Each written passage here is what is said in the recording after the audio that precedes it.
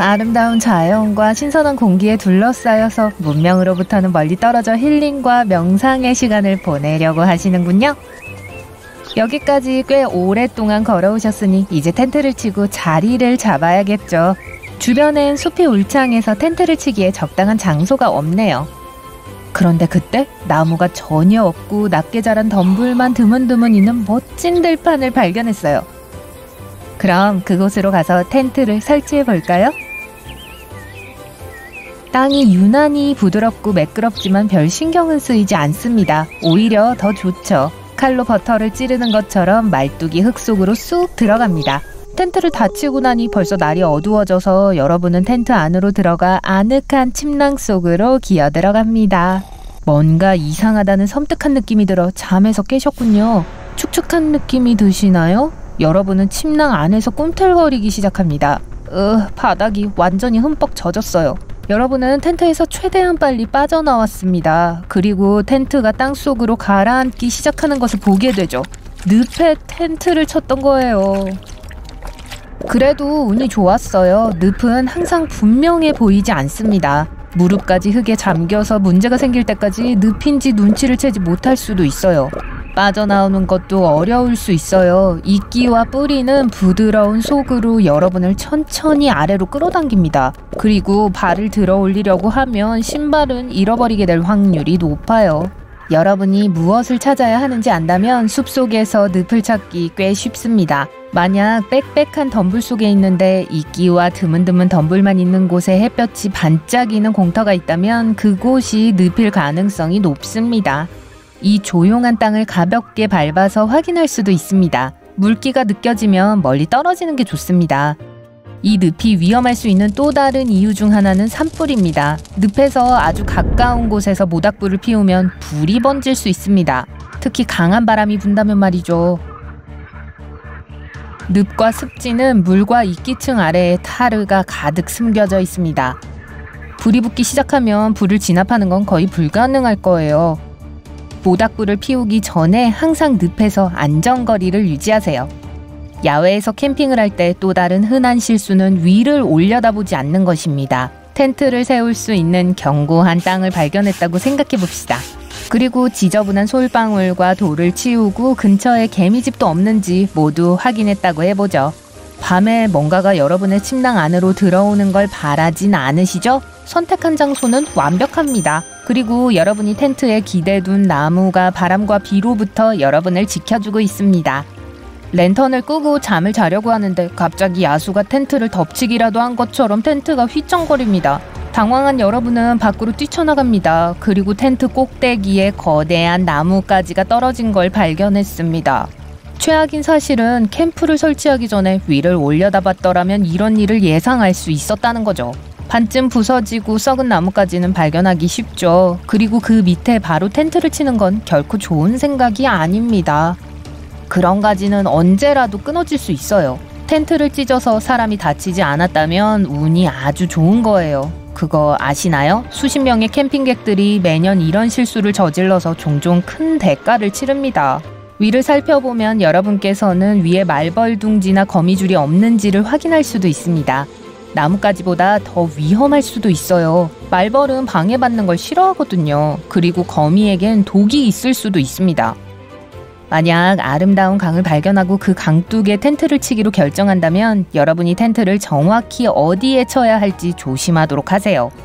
특히 봄이나 가을에는 물 가까이에 머문다면 한밤중에 물 위에 둥둥 떠있게 될지도 모릅니다. 낮과 밤의 일기예보를 항상 확인하세요. 비가 올 가능성이 있다면 물, 특히 강에서는 멀리 떨어지는 게 좋습니다. 비가 강의 수위를 높여 둑을 터트리게 하고 여러분의 작은 텐트가 물에 잠겨 휴가를 망칠 수도 있어요. 하지만 물에서 멀리 떨어져 있어도 비는 캠핑을 망칠 수 있습니다. 자, 다시 한번 숲 깊숙한 곳에 가보죠.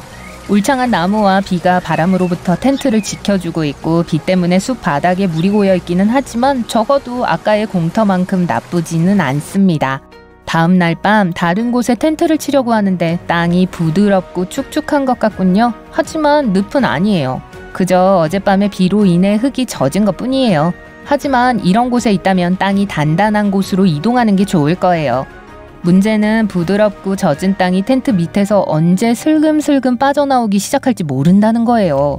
이런 흙의 이동은 늪에 있을 때만큼 위험하지는 않지만 텐트의 말뚝이 풀릴 수 있습니다. 그러면 아까는 텐트였던 것이 이불이 되어서 여러분은 그 밑에 묻히게 될 수도 있습니다. 그리고 아늑해 보이는 계곡에 텐트를 치기로 결정했고 그때 이미 비가 내리고 있었다면 즐겁게 물 위에서 둥둥 떠다닐 준비를 하셔야 합니다. 모든 물은 자연적으로 아래로 흐르게 되어 있습니다. 곧 물이 여러분의 캠핑 장소로 들어오고 결국 텐트 안으로 들어오게 되겠죠. 잠에서 깨어났을 때 빗물에 무릎이 푹푹 빠져 있는 것을 발견하는 건 당연한 일이겠죠. 아, 기나긴 산책을 하고 좀 쉬기에 딱 좋은 장소네요. 언덕 꼭대기에 있어서 근처에 물도 없고 햇빛이 잘 비추고 가로막는 나무 한 그루도 없습니다. 일광욕을 하면 정말 멋지겠죠? 글쎄요, 처음 몇 시간 동안은 즐거울 수 있겠지만 오래 머물다 보면 왜 이 결정이 잘못되었는지 알게 될 겁니다. 직사광선은 텐트의 소재 때문에 몇 시간 안에 텐트를 뜨겁게 만들 수 있습니다. 그리고 텐트 안으로 기어 들어가는 순간 피부로 그 열기를 느낄 수 있을 거예요. 밤이 되어 텐트가 좀 식을 때까지 여러분은 그 안에 들어가고 싶지 않을 겁니다.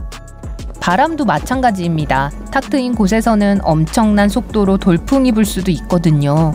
그리고 만약 말뚝을 제대로 박지 않았다면 여러분은 생각했던 것보다 더 빨리 텐트에 작별을 고할 수도 있습니다.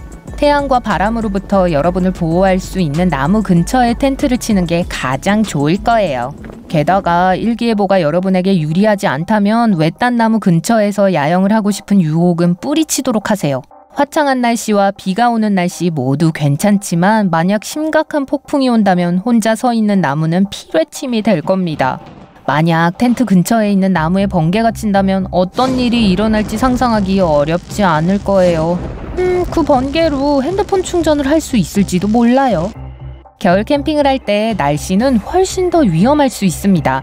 직사광선에 대해 한 이야기 기억나세요? 잊어버리세요. 겨울에는 텐트에 비치는 햇볕이 아주 중요합니다. 텐트가 아무리 멋지고 비싸다 해도 추위는 여러분을 괴롭힐 수 있고 일반적으로 추운 계절에는 바람이 훨씬 더 심하죠. 햇볕은 여러분이 심한 추위에 대처하는 데 도움을 줄 겁니다. 캠핑객들이 저지르는 가장 흔한 실수 중 하나는 텐트에서 너무 가까운 곳에서 모닥불을 피우는 겁니다. 다시 말하지만 텐트의 소재는 열을 매우 잘 전도합니다. 따뜻함을 잘 유지해 주겠죠. 하지만 불이 쉽게 붙기도 합니다. 모닥불 하나는 여러분의 텐트를 태우기에 충분합니다. 텐트와 모닥불 사이에 충분한 공간이 있는지 확인하고 절대로 불에서 눈을 떼지 마세요. 잠이 들 것 같으면 불을 끄세요. 불이 활활 타오르는 지옥에서 깨어나게 될 수도 있습니다. 곤충은 가장 신나는 하이킹도 망칠 수 있습니다.